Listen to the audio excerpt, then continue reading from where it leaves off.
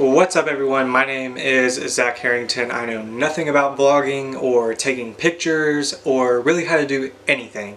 But I used to take pictures in the past and I had a Sony DSLR. I think it was like an A300 or something like that.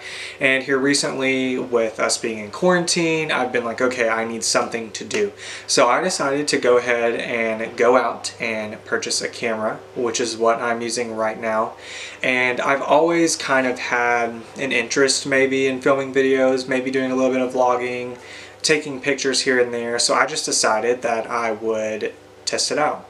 Um, I don't like plan to do anything for monetary value. Like I'm genuinely just taking pictures because I enjoy it and it's something that I kind of want to do as a hobby. Same thing with maybe making or filming videos. Like I don't really plan to become a YouTuber or do anything like that, but I did want to film my first vlog and try this out and also kind of give you guys like an idea of what it would be like if you were looking to purchase this camera to do your vlogs or any videos with.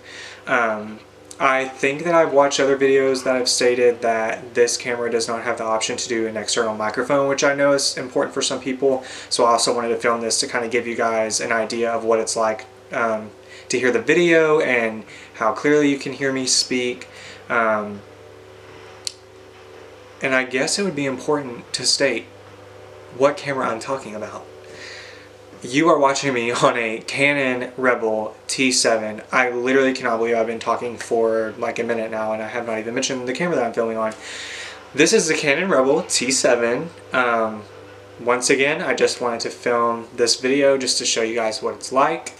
Um, let me know if there's anything else you would like me to post. I would be so willing to post like a compilation of some of the pictures that I've taken, I don't know what I'm doing with this camera and I'm so excited to figure it out. But anyway, here is the video test of the Canon Rebel T7, which is exactly what I should, should have said at the beginning of this video.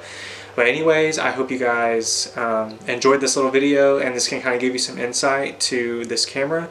Maybe if you're looking to buy it and purchase it for video opportunities. But yeah, thank you so much for watching.